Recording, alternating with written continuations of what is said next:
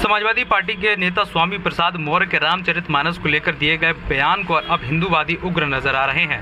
उन्होंने आज आगरा में सांकेतिक शव यात्रा निकाली। इसके बाद दो कदम आगे हिंदूवादी नेताओं ने स्वामी प्रसाद मौर्य की जीप काटने वाले को इक्यावन हज़ार रूपए का चेक देने का ऐलान कर दिया। इससे भी दो कदम आगे हिंदूवादी नेताओं ने ऐलान किया है कि अगर स्वामी प्रसाद मौर्य आगरा आते हैं तो उनका जूतों की माला से स्वागत किया जाएगा।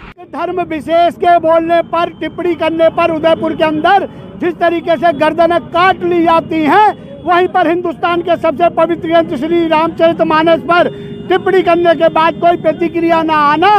कहीं ना कहीं ये सनातन धर्म के मुँह पर जूता है।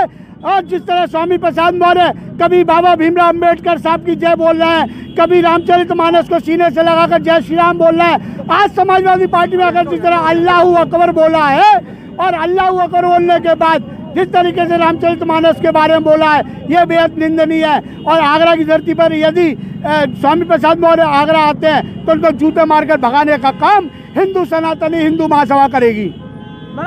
जिस तरीके से धर्म विशेष पर टिप्पणी करने पर जयपुर के अंदर कन्हैया लाल का सिर काट लिया जाता है, उसी तरीके से कोई भी साहसी व्यक्ति हमारे पवित्र ग्रंथ रामचरित मानस पर जिस तरीके से नीच, बेढंगी नेता स्वामी प्रसाद मौर्य ने टिप्पणी की है, इसकी जीप को काटेगा और उसमें जूते लगाने का काम कर, जो भी साहसी व्यक्ति करेगा, उसको इक्यावन हज़ार रुपए का चेक सौरभ शर्मा अपनी तरफ़ से इनाम में देगा।